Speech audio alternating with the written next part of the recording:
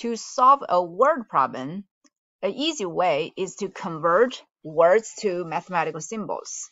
So for example, we have 2.5%, that's already a mathematical symbol. We can bring it down. And the word of means multiplication. And one number, so of is multiplication, one number, I'm going to use a variable x. And is means equal 25. It's already math symbol. We bring it down. So uh, after we do that, translate words to symbols, I'm going to get this equation right here, 2.5%. Um, again, 2.5% times x equals 25. And to solve for x, we first, uh, whenever we have a percent, we have to turn that into a decimal so we can uh, solve for, uh, we can get rid of that decimal. So when we uh, convert 2.5 to uh, decimal, you move the decimal point two places to the left. Add a zero, so we can move it one more time. So we got 0.025. The reason is 2.5% means 2.5 divided by 100. When we divide a number by 100, we can move the decimal point two places to the left. So now we turn the equation, convert that percent to the decimal, and we just have to get rid of this decimal. And we divide both sides by 0.025. Now, how do we divide decimals? Since these two decimals are exactly the same, any number divided by itself, it's going to be 1. And but when we divide decimals, we move the decimal point in the divisor, the bottom number, a um, certain number of times until we turn that into a whole number. So here we can see we have to do it one, two, three times. Now, uh, correspondingly, we must also move the decimal point in the top number, the dividend, to the right the same number of times, which is three times here. So we turn this equation into a problem of 25,000 divided by 25, and which you can see it's a thousand. Because 25 goes into 25 one time, and you 25 go, goes into the rest of the zeros uh, zero times. If you want, if you cannot see the answer, set up a long division process. 25 goes into 25 one time.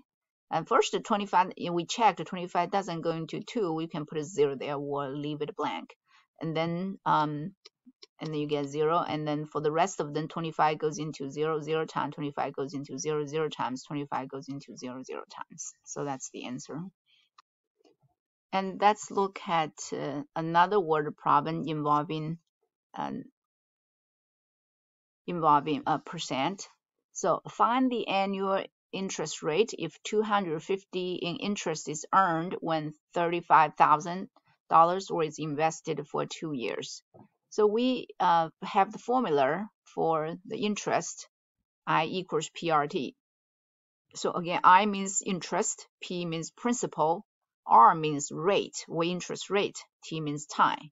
So first we copy down the um, formula I equals PRT, and then we plug the numbers in there. So because it says 250 in interest, that tells us I is, this is interest and this one says invested, so that's the principal, and two years, that's the time. So we're going to plug everything in here.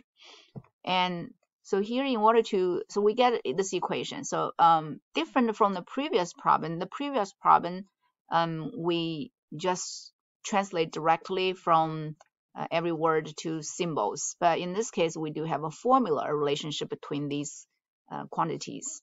So we have to plug everything into this formula. Now, after we plug everything into the formula, we get this equation, and we just need to uh, get r by itself to solve for this rate, because rate is not given, so we, we didn't have a number to plug in. So here we could, um, two ways, you could get divide get rid of 2 first, divide both sides by 2, and then get rid of 35,000. What I did is I went ahead and switched to an r, because multiplication has the commutative property. So I can multiply 3,502 to get 70,000. And then I just need to get rid of 70, 70,000. I divide both sides by 70,000. So 70,000 cancels 70,000 and 250 divided by 70,000. That's what I need to do. So I, here I, I show the long division process. Um, so 250 divided by 70,000. And you can, um, first of all, it has one, two, three, four, five digits. So you're to have to have at least five digits here uh, actually um, more six digits because 70,000 doesn't go into 2, doesn't go into 5, doesn't go into uh, doesn't go into 25 or 250. So you're to have to add a decimal point and add a 0 and you will if you add a 1 you will have 2500 but 70,000 still doesn't go into 2500 so add another 0 that's 25,000 and it still doesn't go in there so but after we add another 0 and that's big enough. So we have 250,000 and 70,000 does go into 250,000 three times. So you will have three, times three times 70,000, that's 21,000. And after we do subtraction, we get four, 40,000. And if you want to continue, you add another zero and you bring it down. And then 70,000 goes into 400,000 five times. And five times seven, 35, and bring all these four zeros down. And do subtraction again. So we got um, all these zeros. And then 0 minus 5 gives us uh, we, we not enough. So we can bring uh, reduce this down to 3 and increase that to a 10 so 10 minus 5 is 5 3 minus 3 is 0 and if you do it one more time and then you you will get um, if you want to continue okay so after we do the long division and we found out the decimal is going to be roughly 0.00357.